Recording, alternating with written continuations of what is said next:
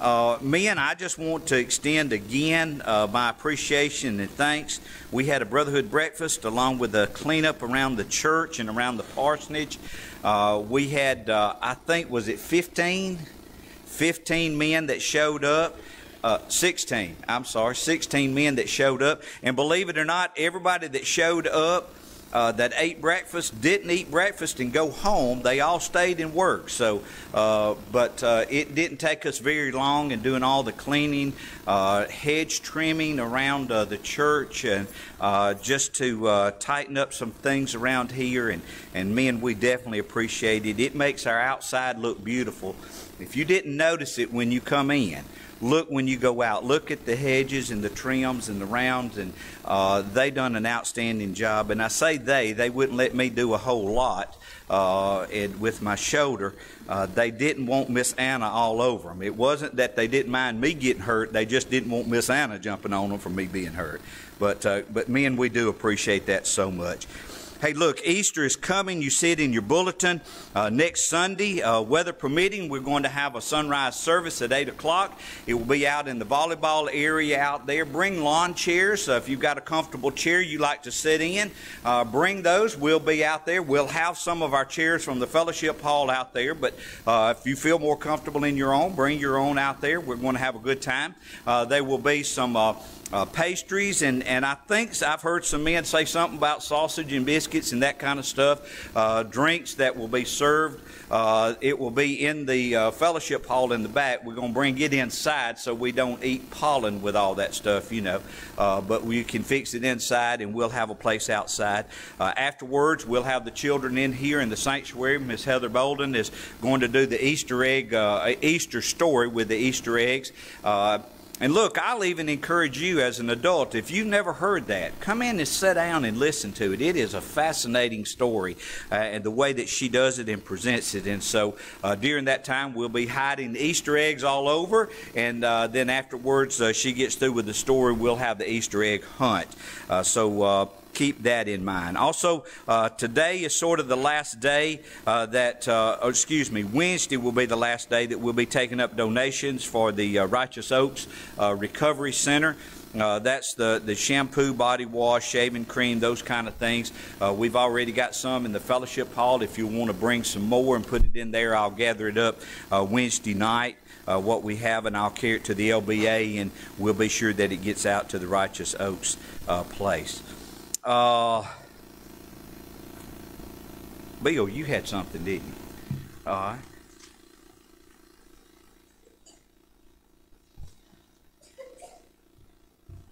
Good morning. Do you know what next Sunday is besides Easter? He's risen. Four years ago, next Sunday, you and Miss Anna come to be at Causeyville Baptist Church. Been that long. And we just got a little token of our appreciation, and we want to let you know how much we think of you, you and Miss Anna, for the jobs that y'all do and what you mean to the church. And, and we don't have to wait to Pastor Appreciation Month to show appreciation for the pastor and his wife. Let's just do that this coming week. Let's all just try to give him a call or text or a card or something and let me, him, and Miss Anna know what they mean because Miss Anna works hard just like Brother Eves does, and he hadn't had a lot. I'll be honest with you, he hadn't had an easy year. It's been tough. So let's just show him some appreciation for what he, what him and Miss Anna does for the church. We just like to give you this token of appreciation. Miss Anna, maybe this will get you out of the kitchen for a while, so. Well, it will definitely go to her, so. uh, Okay. It's for both of us. I, no, I did not realize that it had been, uh, four years, uh, since we had come. Uh, time has passed by quickly. Uh, yes, this past year has been, uh, challenging, uh, at best. Uh, as I've told somebody the other day, the new horror movie that they're coming out with is pastoring a church in 2020.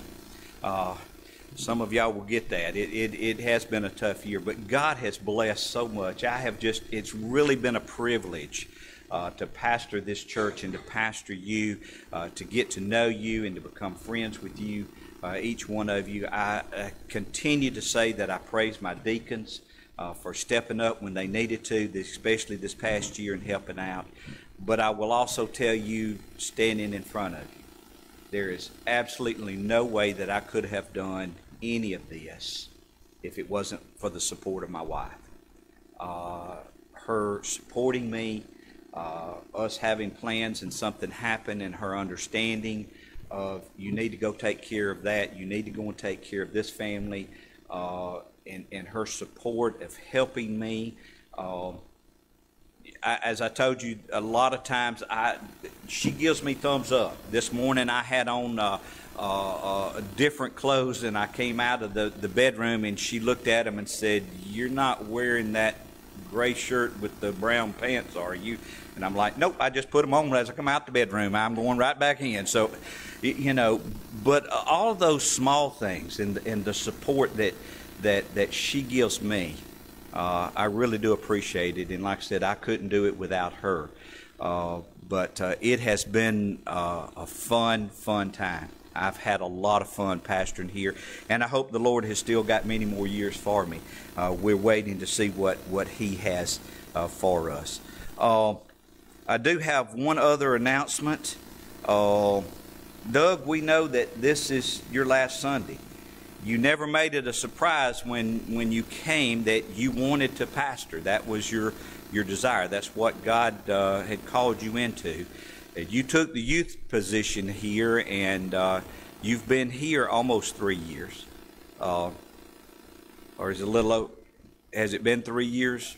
Uh, and and and you have built our youth group this past year like me. It, it's been challenging at best. Uh, but our youth group had grown at one time. We were having, what, about 18 over there, 18 youth, and and you have done a fantastic job. And I know you put a lot of uh, God's Word in their heart. Uh, as you get ready to go, uh, I wanted to give you this uh, NASB study Bible it's been in my office, and you've been in there a couple of times, and I have almost broke the pages of it and, and looking and studying. But you know there's a lot of good study material in here, and it'll help you in your pastoring as you look uh, forward, as we look forward to that also. So, uh, on behalf of the church, uh, I hope that you use that very well. Thank you. I love it, man. Love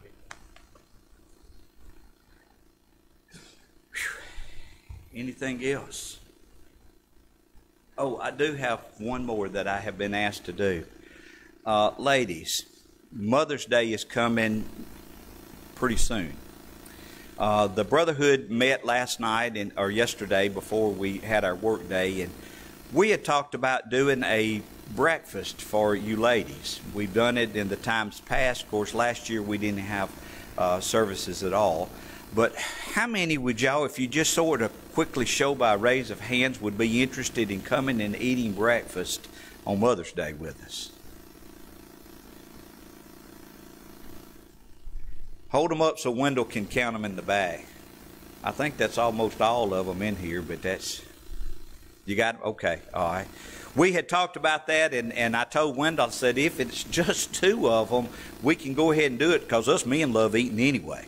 Uh, but uh, we wanted to be sure that we have enough food, including in everybody. So we've got a lot of things going on, a lot of things on our calendar. Things are beginning to pick up. Uh, after Easter, uh, we've got uh, some guest speakers that are coming. We've got Mother's Day that's coming. We've got homecoming that's planned. Uh, in June, we've got our youth going to, to camp. We've got vacation Bible school. So we're beginning to get back into the swing and beginning to open back up. Uh, saying that to say, keep your ears open uh, because I know we're going to need help in like vacation Bible school and those kind of things. And so uh, I hope that uh, we'll be able to get all those back and going. Is there anything else? I've talked enough. It's time to start singing.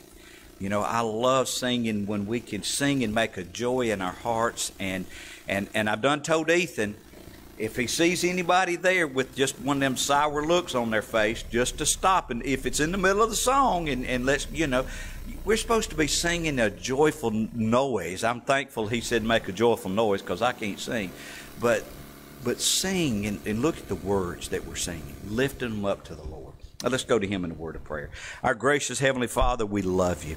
Lord, we thank you for the great honor, the privilege that it is of coming into your house and worshiping you. Lord, today as we celebrate Palm Sunday, Lord, the triumphant entry into, the, uh, into Jerusalem, the King is coming. Lord, hallelujah, that you came, that you could bear that cross on Calvary for our sins. And then, Lord, next Sunday, as we celebrate you rising from the dead, death could not hold its prey. The body would never decay. Lord, as we celebrate that, that we know that we can honor a risen, living Savior. Lord, today, help us lift our voices to you and singing that sweet melody. Lord, in a little while, I'll ask you to hide me behind the sacred desk proclaiming your name, the words that you've put up on my heart. Lord, continue to guide us. Lord, in everything that we do and everything that we say will be acceptable, will be honorable in your sight. In Christ's name we pray. Amen. Come on, Mr. Ethan. Well, good morning, everybody. If y'all please stand with me, we're going to start off with singing the Old Rugged Cross.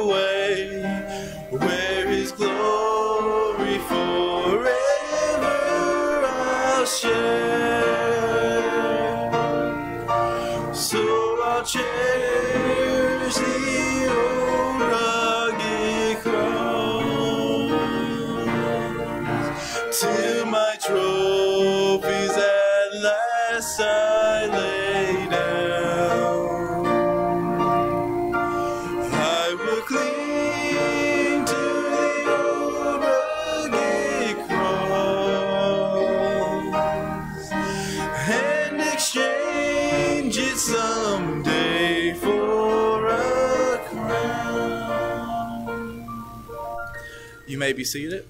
I think that was some of the best singing I've heard in a good while. Couldn't even hear Mr. Gilbert back there. It was great. So let's keep singing loud. This next song, How Great Thou Art.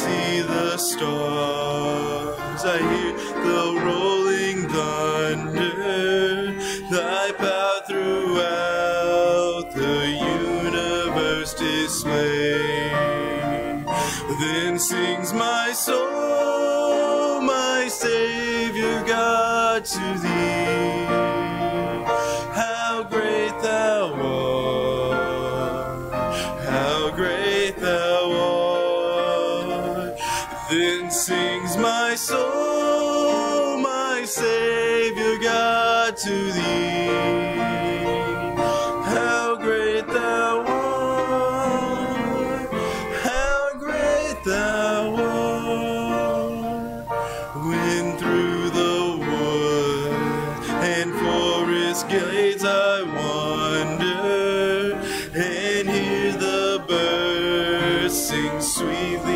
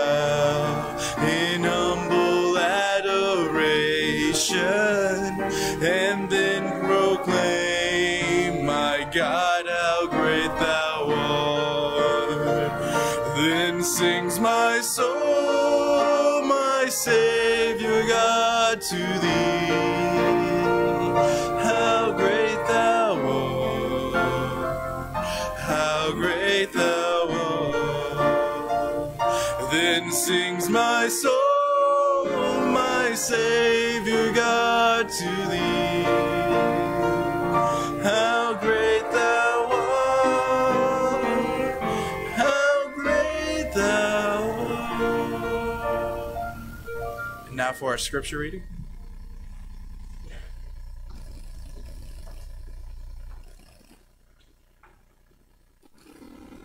Good morning. Yes, I'm glad that Brother Ethan didn't stop us in the middle of a song there. We must have done pretty good, didn't we? All right. You know, when Jesus spoke, he spoke with authority. And here in uh, Matthew 21, 1 through 3, we'll be reading this morning. And uh, it goes like this this is from the Holman uh, Christian Bible. When they approached Jerusalem and came to Bethphage at the Mount of Olives, Jesus then sent two disciples, telling them, Go into the village ahead of you. At once you will find a donkey tied there with her foal. Untie them and bring them to me. If anyone says anything to you, you say the Lord needs them, and he will send them at once. Before I pray, I would like to mention some families that are hurting this morning, and a lot of people are. You know, 2020 was indeed a tough year, and looks like 2021 is not lightening up on us uh, very much. but Miss Carla Pope died in Kosciusko, and some of you folks may be uh, affiliated with some of the Kosciusko people, but the Godfrey family also is a part of that family. And the Fleming family uh, that I'm associated with out in Grand Prairie, they're also a part of that family. And here locally, we have uh, Miss Pat Sullivan's family. We need to remember them this morning. So, if you will, just pray with me for these as we go into our prayer time here. Dear Heavenly Father, we thank you, Lord, in heaven. You're so good to us. You promise us all so many things, and you take care of every promise you give us. And you tell us in your word that if we believe in you and trust in your Son as our Lord and Savior, you take care of us. Lord, as we prepare now uh, to hear Brother Eves as he comes to give us a message that you've placed on his heart, Lord, give him clarity, give him a speech, give him thoughts, Lord, clear his mind, and everything about this service will be to glorify your name, Lord, lift you up. And uh, I just pray that you'll be with us, be with these families that we've mentioned, Lord. Uh, they're hurting this morning. There's more people all around us that's hurting. For all those that are sick, we pray, Lord, for healing. For those that are weak, we pray for strength. And for those who need your wisdom and your patience and your all the things that you provide for us, Lord, we pray that you'll send that our way. Go with us now, Lord, forgive us where we fail you, I pray, in Jesus' name. Amen. All right, the next song that we're going to be singing today is going to be Redeemed, How I Love to Proclaim It. And I just got to confess, whenever I was practicing the song, every time I'd start out, I'd be rushing it and going super fast. But I got Miss Martha going to keep me you know, on the right tempo, so let's sing it and let's mean it.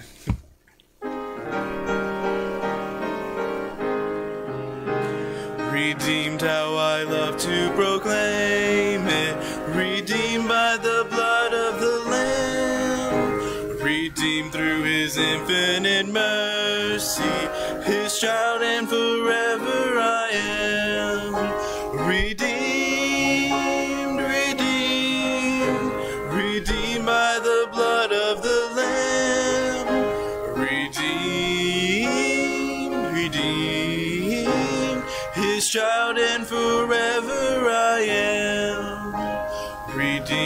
So happy in Jesus. No language my rapture can tell. I know that the light of his presence with me doth continually dwell. Redeemed,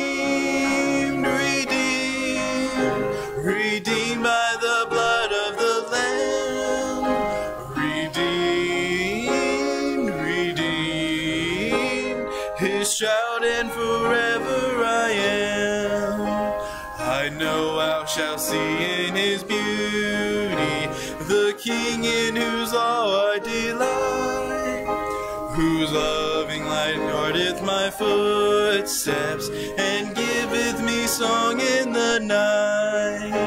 Redeemed, redeemed, redeemed by the blood of the Lamb. Redeemed, redeemed, his child, and forever I am. If you'll please stand for the last song, He Lives.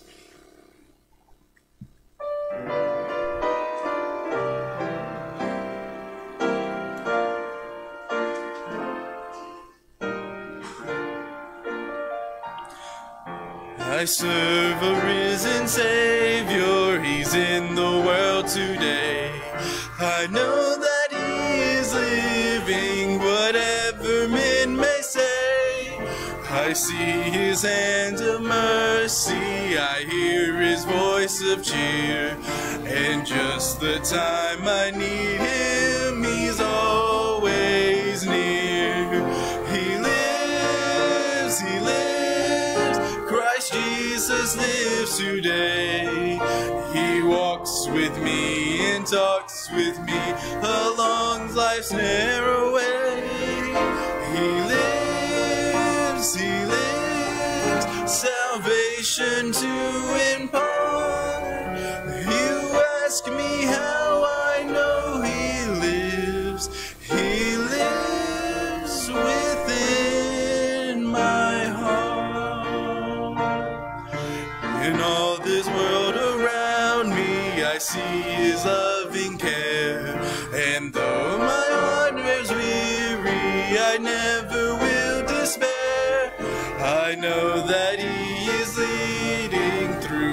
the stormy blast. The day of His appearing will come at last. He lives, He lives, Christ Jesus lives today. He walks with me and talks with me along life's narrow way. He lives, He lives, salvation to impart.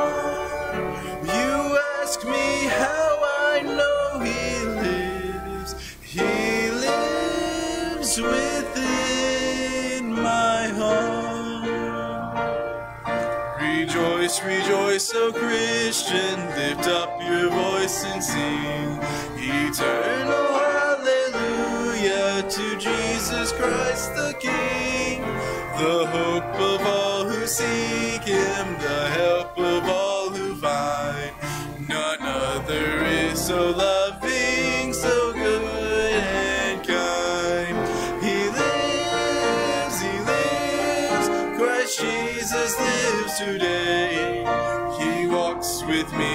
talks with me along life's narrow way. He lives, He lives, salvation to impart. You ask me how I know He lives. He lives within my heart. You may be seated. And now we'll be having a special by Mr. Joe.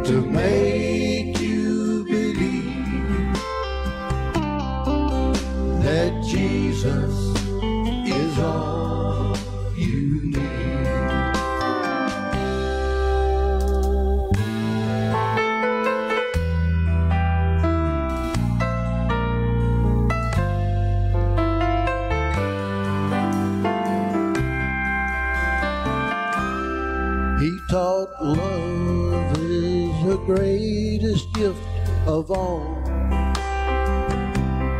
Love is something we each need to give. He gave it all on Calvary's cross. Gave it all so that all of us might the third day, he rose from the tomb, conquered death, hell, and the grave. He came and spoke to those that he loved. He said, Trust in me, and you will be saved. What would it take to make you believe in Jesus the Nazarene.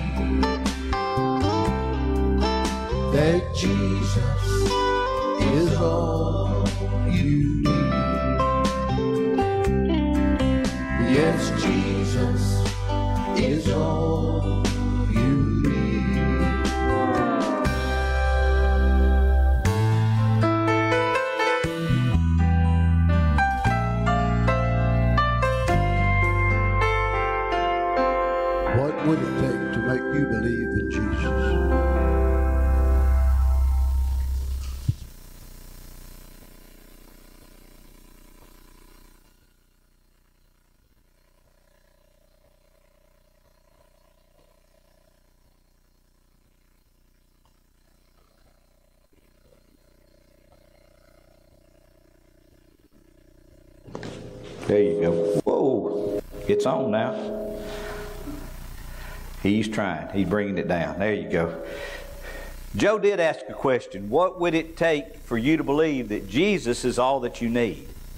Today is, we call it Palm Sunday, the, the triumphant entry into Jerusalem as we look at it. Uh, if you take your Bibles and turn to Matthew in chapter 21, we want to dig into the scriptures here and just pull out some nuggets that, that I want us to look at leading to the cross as, as Jesus was getting ready, I, as I read these scriptures, I, I think that it's absolutely fascinating. You heard this morning when, when Joe was reading that, that Jesus says, Go into the uh, uh, village uh, opposite of you, and there you're going to find a, a, a donkey with her, her foal that's tied up. And, and, and, and I want you to get it and bring it to me. And I thought it was very interesting in this saying here in verse 3 it says, If anything, anyone says anything to you, say, The Lord has need of them, and immediately he will send them. Wow. It doesn't tell who the coat belongs to. It doesn't tell anything uh, other than they're going to be a, a, a, a mule with, with a, a, foal that's going to be tied up. That's all we know. We don't know nothing about the owner of it. And Jesus says, I want you to go over there and get it. If somebody says something to you, you just tell them that the Lord has need of it. And when you tell them that, nothing else matters. Immediately, He's going to send it. Wow. I, I sort of want to take a step back here just, just for a moment because I want to set the stage. You, you see, the Jews had been, Jesus had been prophesied throughout the whole te- Old Testament. People were looking forward to Jesus coming. They knew that there was a, a great prophet coming. They knew that there was going to be a king in the lineage of David. It had been foretold. They, foretold. they knew about it. And all of a sudden, Jesus appears on the scene. And they're thinking, this is our king. This will be the king of the Jews. Excuse me. This will be the king of the Jews. He's the one that's going to lead us out of the Roman bondage, out of Roman captivity, if you will. They're going to overthrow Rome. It's going to overthrow the king. And we're going to be the Jews. We're going to be like the Roman Empire. We're going to be the Jewish Empire. And we know that everything is going to fall under us. That's what they were looking for. when you stop to think about it, please, when you stop to think about it, that's what the Jews were looking for. They had heard that the King of the Jews is coming, Jesus is coming, and He is our King. He's going to be the ruler. Now, that's the mindset that the Jewish people had at this time. Here it was. It was the time of Passover. Here it was, was the, the time that, that, that the people were gathering. They were thinking of the Passover. They were thinking of the time that the children of Israel were led uh, out of captivity into that uh, bondage from the Israelites, that, that they were crossed the sea. And they were led out of that Passover and, and, and, how all those plagues that God had brought upon the, the, the people, and finally that last plague, the, the plague of the death of the firstborn, and, and how the death angel would pass over with the blood that was spread upon theirs. They were thinking God is coming back in a miraculous way that, that people have never seen it before. They were excited about it. And Jesus says, Go and thank you so much. The signage stranger sometimes just gets to you, don't it? But, but that's what their mindset were, was. And all of a sudden, they went down and they've got this donkey. And it says that this took place so that it could be fulfilled that was spoken through the prophet Isaiah. It doesn't say Isaiah, but the, the prophecy there is from Isaiah. In verse 5, it says, Say that the daughter of Zion, behold, your king is coming to you, gentle on a mount, mounted on a donkey, even on a coat, in the fold of the beast of burden. They, they were looking for it. Now, th- it, it was true when you think of kings, what do you think of? You think of the kings that rule the mighty uh, uh, uh, armies, the kings that, that will go out and fight with their people. You think of the kings that come uh, uh mounted on a horse. Today, and, and, and as more modern times come up, you think of the kings that, that ruled completely kingdoms, and his word was the absolutely word of authority. And all of a sudden, they knew that, that it was prophesied in the book of Isaiah that, that, behold, your king is coming to you, gentle, mounted on a donkey. He didn't need to come in riding on a horse. The, the horse was a representative of war and, and, and, and overthrowing, and he was coming in on a donkey. Peaceful, gentle people are thinking, man, they are really getting excited. Our king is coming. Man, they're going to put it to the Roman Empire. They are, he is coming here.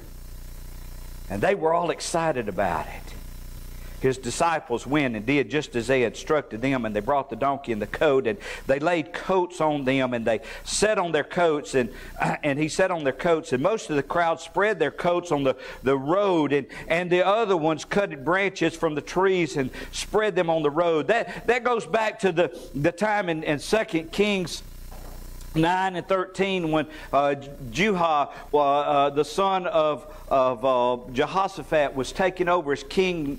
Uh, uh, they, they were getting ready to anoint him as king, and as he, he, was walking down the steps, they would take their coats off and lay it out and, and, and to make a, a pathway for the king to come. And the people were saying, He's coming. Here comes the king, and he's coming into Jerusalem. And they took their coats and they laid it on the donkey, and they took their coats and they laid it on the ground and they cut branches to make sort of a, a king's highway, if you will, as he comes into Jerusalem.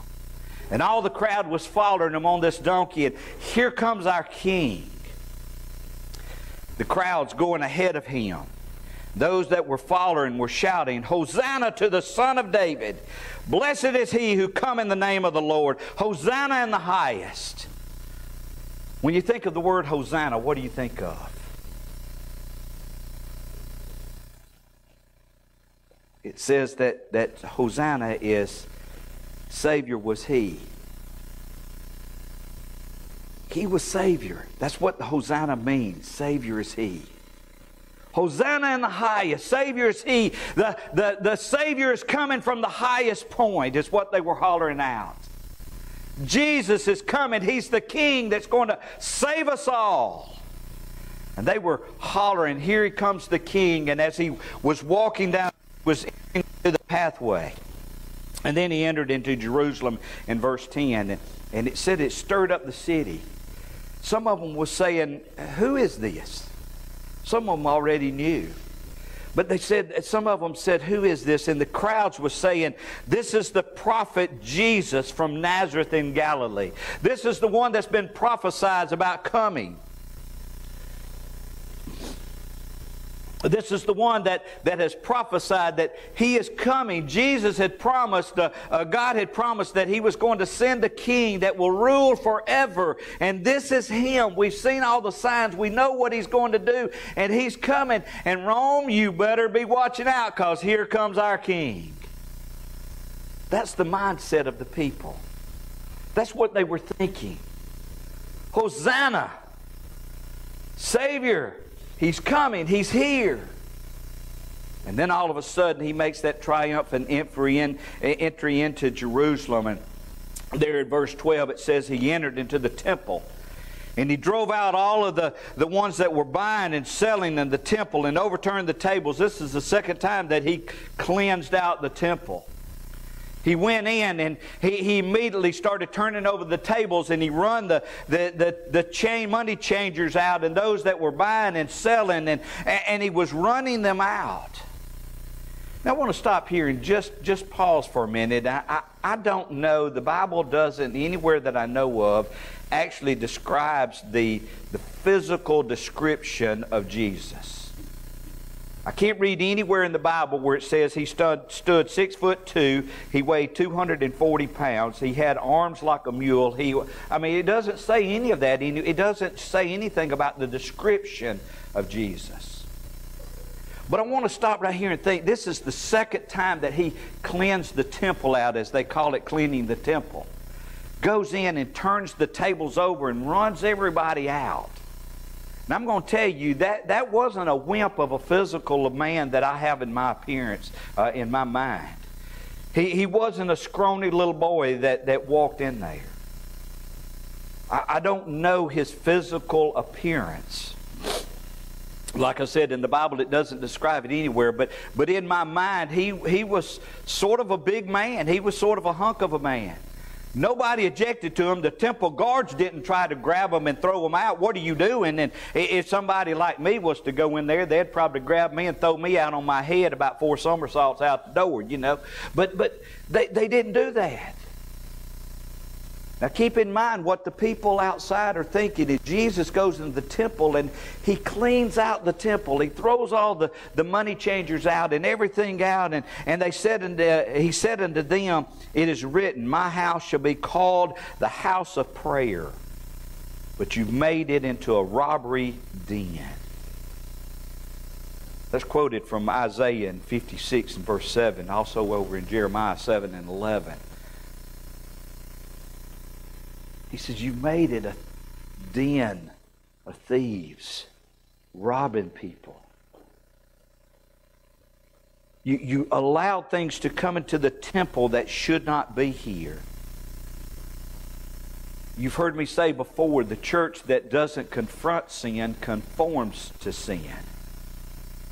That's what was happening here in the temple. They, they wasn't confronting sin, they were conforming to it making money exchange and, and, and robbing them. Yeah, I, I know that, that, that your money and my money should equal, but I, I'm going to only give you half of what you going to you need for your money in exchange. And because the, the temple money is the only money that we accept here, so to pay your temple taxes, you, you know, the temple taxes is $400.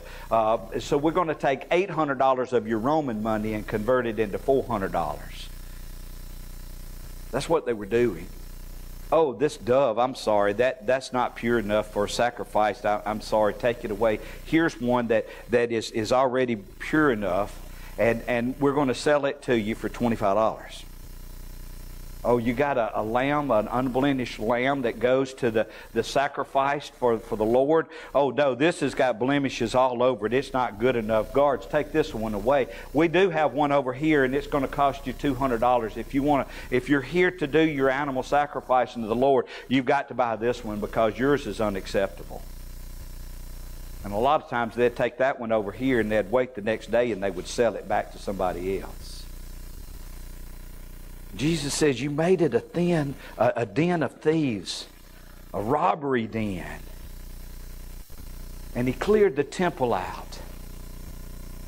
And all of a sudden, the people are shouting, Hosanna! Hosanna in the highest. God has come. God has sent what He said He was going to send. And, and, and it says there in verse 14, and the blind and the lame came into the temple and He healed them. Wow.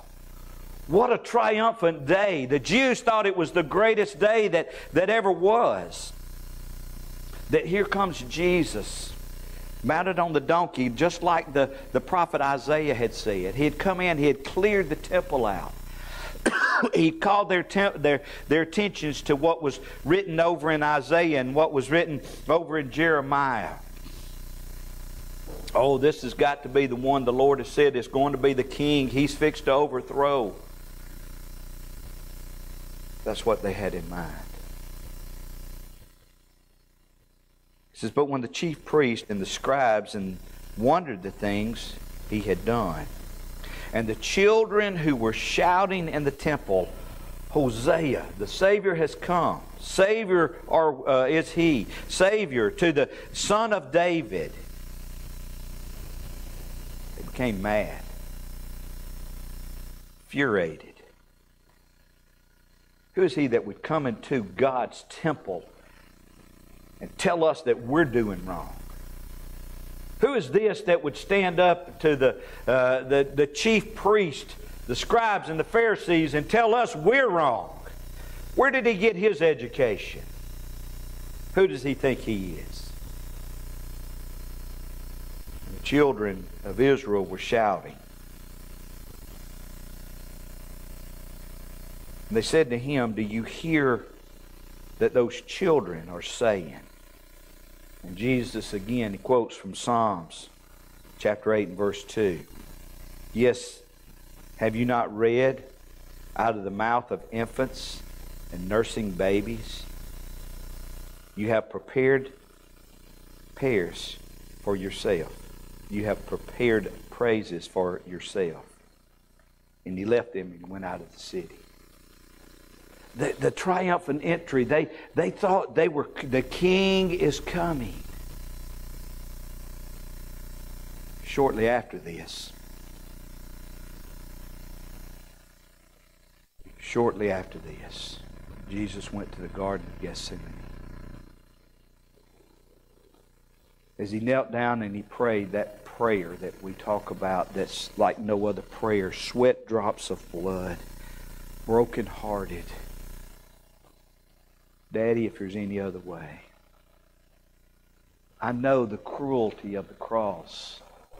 I know the physical pain. I know the emptiness of the rejection of the people. We talked about that last week. I know what it's going to be, but but if there's no other way, there's no other way. It's not about me, it's about you your will be done. As he got through in that Garden of Gethsemane and as he got through praying, he got up and he went back to his disciples, and there was a crowd coming through the woods, and they had torches and they had swords, and it was an army that came. And, and, and there was a scuffle that, that sort of went on just, just for a little bit. Even when Peter drew a sword and cut off the ear of the, one of the priests. And Jesus says, No, wait a minute. I didn't come to fight with swords. This is what the Lord has for me. This is what God sent me to do. What really amazes me is this whole time, he was not thinking about himself. He was thinking about an old, rugged sinner like me. What would it take to make me believe that Jesus is all that I need. Beautiful song, Joe. As they drug him through the streets, as they drug him from one trial to the next trial to the next, as Pilate was trying to figure out a way, I, I, I can't find any fault in this man. And the crowd that just a few days before was saying, Hosanna. The king is coming. Some of those same people was standing in the crowd hollering, Crucify him. The others were standing by not saying anything. Wait a minute, what happened to our king? They're, they're fixed to crucify him. We, we thought that we had a king that was coming, and we must have all been fooled. So do away with them. The whole time he was thinking of me. He was thinking of you. As finally Pilate says, Look, we've, we've got a murderer over here, one that has been convicted and, and is sentenced to hang, but This day, we're supposed to release a prisoner. Do you want me to release this murderer back into your city or Jesus? Release Barabbas. We'll take Jesus to crucify him. Crucify him. The whole time. He was saying, Nevertheless, Dad, not what I want, but what you want. They drug him from one court to the other the guards was gathering around him and put a crown of thorns on his head. Oh, you're the king. Oh, tell me what to do. So they'd take the wreaths and they'd hit that crown of thorns on his head, and those thorns would pierce into his head. I, I can't help but just stop and think. Yesterday, I had a headache when I got home. You ever had one of those that your head just, you felt every heartbeat? Boom, boom. You know? We're fortunate enough. I took two Tylenol, laid down for about 30 minutes, and boom, it was gone. But can you imagine one of those crowns of thorns on your head and they was hitting it with wreaths and it was beating into your head and physically your head was just pounding and people were hollering and laughing at you. They're slapping you from one place to the other. People are saying, crucify him. And, and he's thinking, I'm innocent. I've, I've not done anything. But this is this is Daddy's will. This is what I've come for. As they take him and they put him on that that that post and they beat them. The harsh beatings. This wasn't the Jewish beatings of the 40 lashes minus one. This was the Roman beating that that they didn't have a number that they could beat you. They just beat you until they thought it was enough. And doing some research, even in the beatings that they beat people, about 80% of them would die in the beatings before they would even get to the cross of crucifixion. Because they would want to beat them almost to that point of death. And they, they, they would take that cat of nine tails, and as they would tie them up, they would take that whip and it would go across their back and come around the side. And, and, and on the end of that, that cat of nine tails, there was bone and there was glass that was woven into that leather, and it would dig into the flesh and it would pull it out.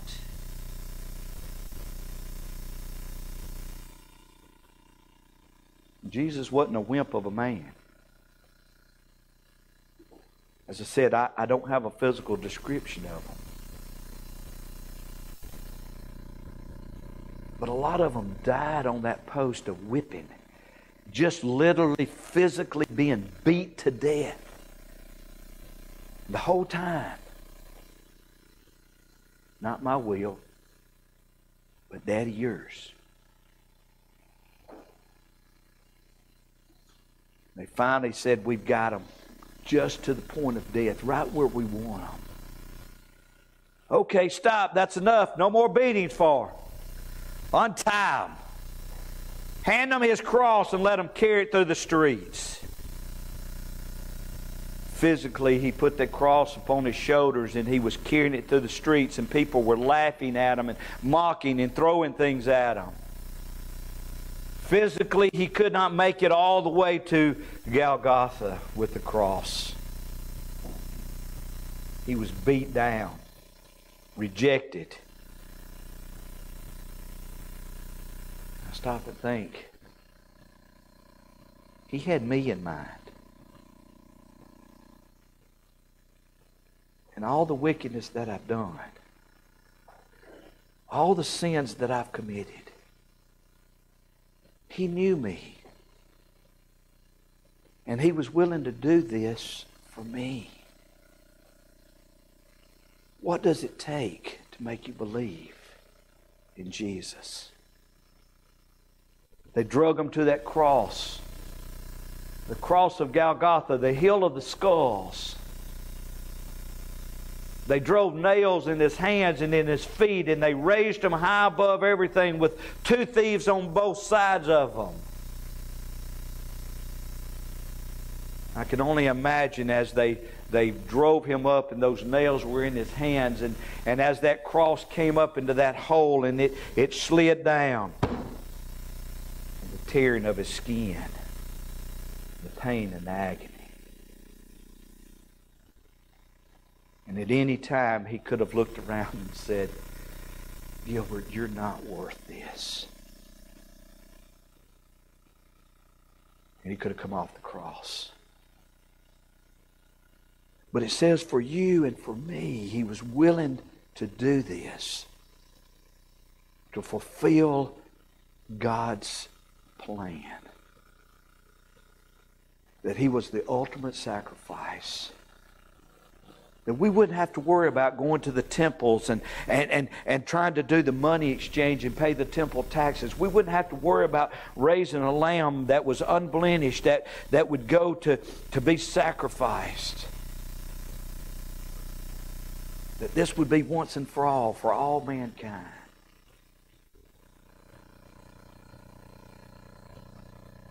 What does it take? Make you believe that Jesus is all that you need. As he hung on that cross, finally, he died. Physically, emotionally drained. Looking around, people laughing, mocking the ones that were saying, Hosanna, Hosanna to the Son of David, is now saying, Crucify him, and they're laughing at him. Wow, and he looks up and he says, Daddy, Daddy, forgive them because they don't understand what they're doing. They were looking for that earthly king that was coming they didn't really understand the sacrificed lamb that was before them. They began to understand that on the day of Pentecost when Peter and all the disciples were standing before them. But at this time, they didn't understand that. We're let down again. We thought God's promise has been fulfilled in our lives and do away with them. He's not Him. He's not overthrowing the Roman government. He's not putting us back as the, the Jewish kingdom and the power that we had when David ruled over uh, us. They didn't understand. Their king had come. Our king had come. And he wasn't just the king of the Jews. He was the king for the Jews and the Gentiles. He was our king. He was coming that we wouldn't be enslaved by Rome or by any other great power. Even here in the United States, as much as what they're trying to do with our religious freedom and telling us of what we can and can't do, He freed us from that. See, our King had come. And he physically died. The Bible says he went to that place called hell. And he took the keys of hell away from the devil. And next Sunday, we're going to be singing and shouting that our King is not in the grave, that he arose. That we celebrate because we do have a risen, living Savior of all the things that he went through and the beatings and the mockings and the laughing he went through for you and for me. So that we could come to him and say god i have sinned. Lord I, i've transgressed your word and i am so sorry. Lord i figured out in my heart i have learned that, that you are all that i need. And i want you to come into my life. I want you to live forever I want you to have freedom to move in my life and guide me and direct me. Just like the guy who owned the donkeys that we know absolutely nothing about. Just say the Lord has need of them, and immediately He's going to send them. Lord, immediately send me.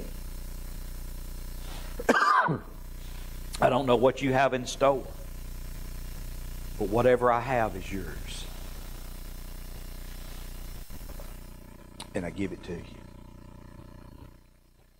You see, that's the reason why he rose from the grave. Now he sits at the right hand of God. And he looks down and he says, Daddy, I, I know that Gilbert has sinned. And I know he's messed up. Lord, in his heart, he has repented. He's turned away. He is so sorry. And, Daddy, that's the reason why I fulfilled your will so that he could be forgiven with a humble heart. You see, that's what we need to realize. With the humbleness in our heart, God, I've messed up. I've said so many times that the greatest sinner in the church often stands behind the pulpit because I fail him so miserably at times in my life. I'm not perfect by no means. And I mess up, I goof up. But I do know that when I go to the foot of the cross and I ask for forgiveness, his word says that he is not only willing, but he is just, and he'll forgive my sins, and he'll remove them as far as the east is from the west, and he'll hold them against me no more. And that's a continuous cleanse as we continually confess. So, my question is to you what will it take what will it take for you to believe that Jesus is all that you need? For the forgiveness of our sins, the cleansedness of our life, to have more life. What did Jesus say? I come that you could have life and have it more abundantly. More abundant life. What does it take? Jesus was willing to die on the cross. Oh, we could spend hours of talking about the physical part of it, the beatings. We could take hours of talking about him hanging on the cross, the six sayings of the cross. We could take hours in talking about all of it. But the bottom line is, is what does it take for you to believe? Jesus is here waiting on you, waiting on me. I don't know how many people I've talked to, some even here recently. Well, Brother Gilbert, I know I need to get back in church, but I, have got so much going on in my life. I, have got to get this straight. I've got to get over this hump. I've, I've got to get this out of my life. I've got to do, and, and, and so many people are saying, I've got to do this or that before I can come back. And Jesus is saying, no. No. I want you just like you are. And let me help get those things out of your life. I want you just like you are. So, my second question to you in the middle of my sermon now, I'm just kidding. But my second question to you now are you willing to come just like you are to the foot of the cross give it all to Him? Let's pray. Our gracious Heavenly Father, we love you. Lord, we thank you for who you are, for your love, your mercy, your grace. Lord, for you willing to go to the old rugged cross of Calvary, for you willing to, to take our sins, our burdens upon you, to physically suffer, bleed, to physically die, but emotionally to be completely emptied, to be laughed at, to be mocked at and to take all of the sins and the burdens of the world upon your shoulders for the ultimate sacrifice. So, Lord, in the simplicity that we can come just like we are to the foot of the cross and asking for forgiveness, for renewing of life.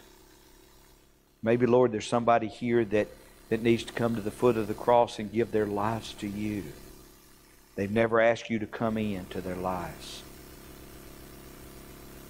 Maybe there's somebody here that needs to continue in your word and say that I've, I've given my life to you, but I've never confessed it before anybody. Your word says is to confess you before men, and you will confess us before your Heavenly Father. I ask each one of you to examine your life, where you stand.